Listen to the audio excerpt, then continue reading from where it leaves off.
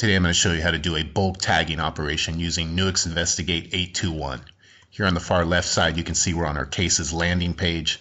We're going to scroll down in the list and select one of our cases here to launch this. When we do that, on the far left side, we're going to utilize a feature here called Save Searches. When we expand this out and we go under Public, we can retrieve one of our save searches here.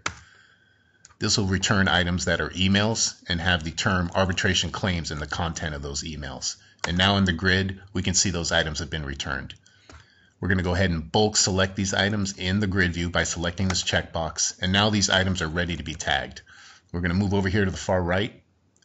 And here is the tags icon.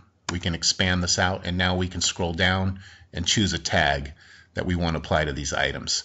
We know our parent tag is review and underneath this is arbitration. This is the sub tag that we want to apply. We're going to go ahead and select that and here we're going to hit save tags.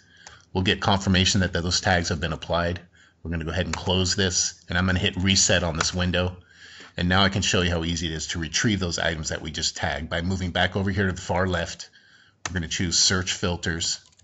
And we're going to scroll down in the list and expand tags and then we'll scroll down in this list and retrieve the tag that we just applied to these items. We know our parent item is review. We'll expand this out. Here's arbitration. We'll go ahead and select that. That'll put that in the search queue. We'll go ahead and hit search here and that will retrieve those items into the grid that we just tagged.